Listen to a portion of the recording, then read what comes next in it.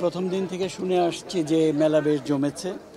আমার ধারণা এবারে মেলাটা খুব জমজমাট হবে। আর আমার আমার নিজের কথা যদি বলি, আমার লেখক জীবনের পঞ্চাশ বছর এবার। সেই উপলক্ষে আমার আত্মজীবনী প্রকাশিত হয়েছে, যে জীবন আমার ছিল।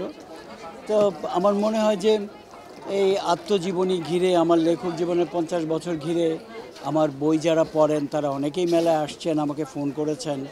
আমি আজকে প্রথম এলাম এবং আমার অনুভূতিটা খুব ভালো যে এইবারে মেলাটা খুব ঝমঝমাট হবে।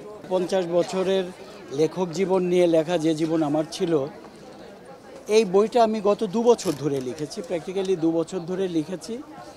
তারপরে এই বছর আমি বইমেলাকে সামনে রেখে শুধুমাত্র এই বইটার উপরই সবচেয়ে জোর দিয়েছিলাম। এই বইটা অনেকবার আমি এডিট করেছি, অনেক যত্নে লিখবার চেষ্টা করেছি, আমার মেধা অনুযায়ী লিখবার চেষ্টা করেছি। আমার মনে হয় বইটা পাঠক পছন্দ করবে